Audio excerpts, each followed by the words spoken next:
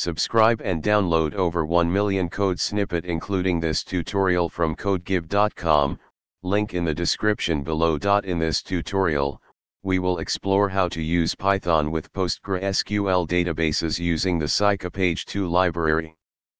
Specifically, we will focus on using the cursor object to interact with the database. Before proceeding, ensure you have the following installed. First, we need to establish a connection to our PostgreSQL database. This connection will allow us to execute SQL queries and interact with the database. Replace your underscore database, your underscore username, and your underscore password with your PostgreSQL database credentials.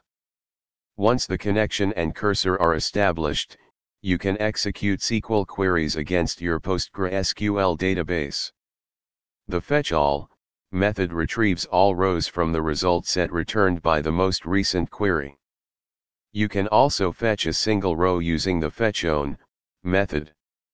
You can iterate over the cursor object itself, which will fetch rows one by one. After executing your queries, you should commit any changes made to the database and close the connection properly. It's essential to handle errors gracefully when working with databases. You can use try and except blocks to catch exceptions and handle errors appropriately. In this tutorial, you learned how to use the Python psycopg2 library to interact with the PostgreSQL database using cursors. You can now execute SQL queries, fetch data, iterate over results, commit changes, and handle errors effectively. Explore further documentation and examples to deepen your understanding and proficiency in working with Python and PostgreSQL databases.